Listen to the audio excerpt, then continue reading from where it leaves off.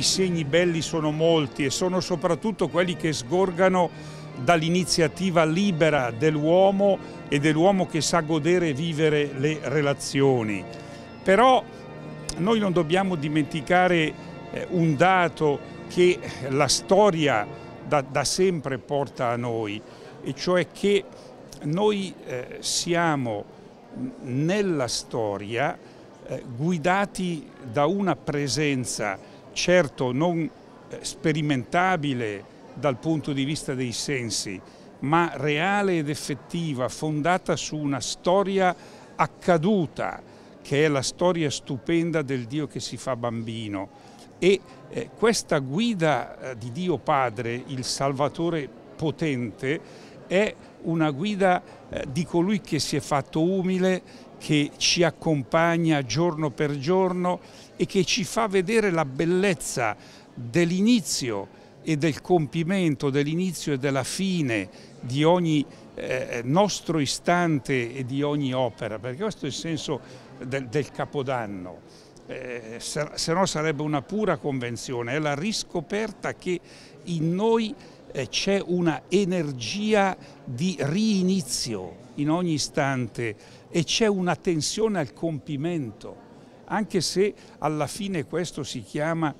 nascita e morte, questa nascita e questa morte non hanno un segno negativo anche per l'uomo che non crede. Noi poi che abbiamo visto la resurrezione di Gesù troviamo pertanto in, in, tutto questo motivi di grande speranza. Sono stato molto colpito, eh, soprattutto in Cisgiordania l'altro ieri, eh, in una situazione di territorio molto conteso, sentire il patriarca latino, il custode di Terra Santa, i sacerdoti, i laici che erano lì, eh, dire abbiamo umanamente molta paura, siamo umanamente molto stanchi, ma il sì della fede ci arma ogni giorno di speranza e di sobria letizia. La nostra è una chiesa del Calvario, ma pur essendo una chiesa del Calvario, una umanità eh, fatta di, di, di religioni eh, che soffrono, eh, di uomini e di popoli, di nazioni che non riescono a fondersi e stare in pace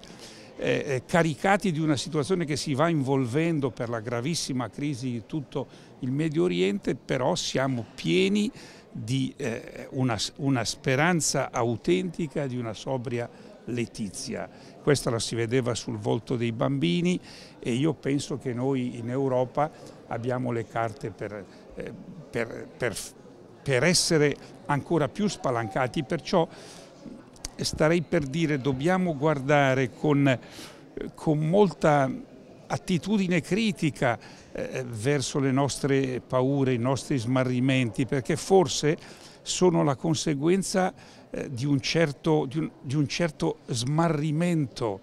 del significato del vivere, della direzione del vivere, ma diciamo la parola di una certa dimenticanza di Dio. Dopo da qui conseguono eh, molte cose, per esempio per la nostra Milano, la grande occasione dell'Expo, l'occasione appunto partendo da, da, da, un bisogno e da un desiderio così radicale come quello delle energie per la vita, di rimettere l'uomo al centro, dentro un nuovo umanesimo, capace di mostrare che la società plurale con diverse visioni di vita non è una obiezione, abbiamo anche la, la, possibilità di guardare in faccia a questa crisi economica con tutte le ferite materiali e spirituali che sta eh, lasciando a partire da, anche qui da una prospettiva rinnovata di interrogarci su come stiamo ripensando i grandi temi che toccano tutti, anche se sono molto tecnici, penso alla finanza, forse qualche passo si è fatto, ma siamo ancora lontani di quel rapporto corretto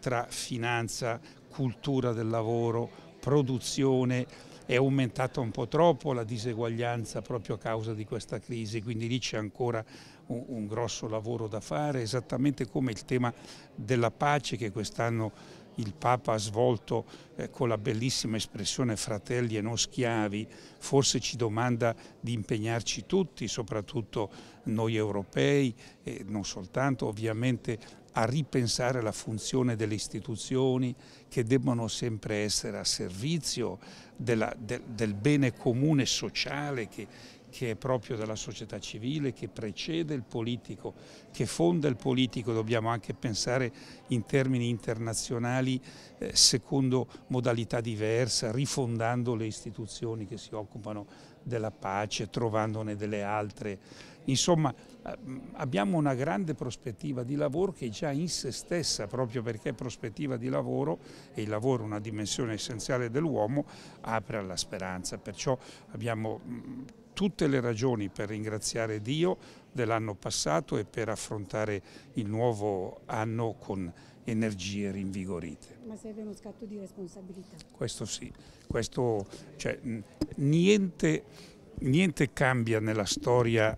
finché non cambia eh, il cuore dell'uomo, la sua mente, la sua energia d'azione, in una parola il suo stile di vita. Non bisogna mai separare il soggetto dalle relazioni, dall'azione personale e dall'azione comune a tutti. Eh, già lo dicevano i grandi antichi che noi abbiamo smarrito, la vita buona ha sempre una indisgiungibile dimensione personale e sociale. Non c'è la vita buona personale e la vita sociale separata, non c'è la vita buona sociale senza che ci sia vita buona personale. Questo dobbiamo cercare, ma io credo che molti molte, molte donne, molti uomini oggi nel quotidiano, nel silenzio, nell'anonimato lo fanno portando talora pesi indiscrivibili. Eh, speriamo che la grande Milano, la, la Milano eh, del, del, del, cuore in mano, la Milano del DNA, della solidarietà, la Milano eh, crocevia di civiltà, la Milano città di mezzo, eh, cammini decisa in questo 2015, abbiamo l'occasione dell'Expo, può fare da catalizzatore e può consentire a noi tutti una effettiva ripresa e speriamo di cominciare a vedere la luce in fondo al tunnel.